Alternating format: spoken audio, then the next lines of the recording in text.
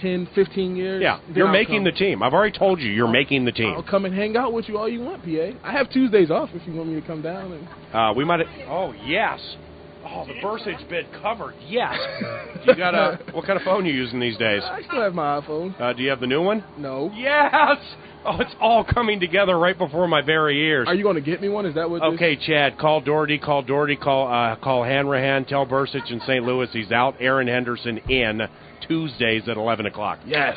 uh, for one of those 4G bits. I'll Okay. Come, I'll come hang out with you guys. That sounds awesome. We'll be working on that. Can't guarantee every week, but we'll try to put something together when the regular season begins. Right. But you got to make the team for that to happen. Oh, all right. I'll take care of that. That's football. That's that comes easy. Well, this nine to noon real estate, you know, This is hard, It's very pop, stuff. but it's very popular real estate. Okay, a lot of people want it, so we can't be up and down and expect every Tuesday from eleven to noon. Understand what I'm saying? I understand. I mean, who are you battling right now? Like, what spot are you trying to win? I know you said any spot, but I mean, the way I look at it right now, unless I'm completely missing something, you got we have 52, 51, Big Brother, and then we have 54, and and then we have you battling people for that other spot for one of two or three spots, correct? Correct. Um, I think my biggest competition is number 50, man. That guy, just depending on how he shows up and what he does when he's out there, I think Yeah. that, that's going to make all the difference. Um, Man, I ran into number 50 after a game last year. What a bleep hole. Wouldn't talk to me, wouldn't sign any autographs.